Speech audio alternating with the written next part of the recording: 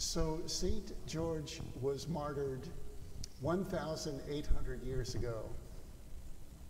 And his death is likened to many of the early martyrs of the church. He was martyred uh, by the emperor Diocletian in the year 307. But in the 1,800 years that have followed since his death, a great legend and a, an insightful legend rose up around St. George. He is, St. George is the saint that you've probably seen in holy cards. He's mounted on a big white horse, and there's a dragon underneath him, and he's spearing the dragon with his great spear. He killed the dragon.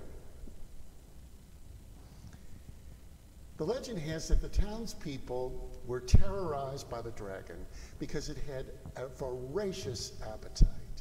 The dragon would breathe fire and it would feed upon the animals of all the townspeople.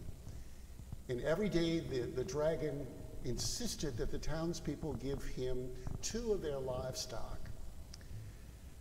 But when the livestock ran out, the dr- dragon demanded that he eat their children. That's the legend.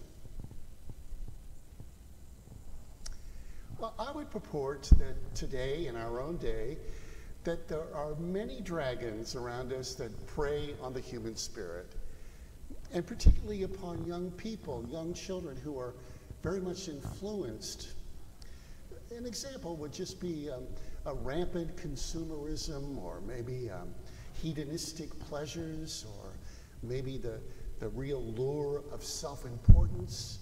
I think that these are dragons in our modern day. And these things have voracious appetites. And in some instances, these things have global dimensions. And again, I think that these things really do prey on our young people. Dragons, for the sake of pleasure, for the sake of importance, for the sake of having. Well, the legend goes that finally, because of the fear and the terror of the people, the king's daughter offered herself to the dragon if she would stop eating, the, if the dragon would stop eating the, the kids.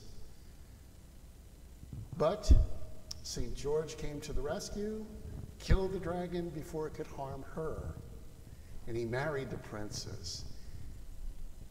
And together, they cooked the dragon for their wedding feast and served it to their guests. You know, I think that that's a great story. People love the medieval story about St. George because, in a nutshell, it really is the story of Easter. St. George represents Christ. And whenever we are willing to lay down our lives for another, as the princess did, death itself dies, just like the dragon. I don't think it's a fable. I think that there are some very real dragons out there in our 21st century and that the church and we have to address them.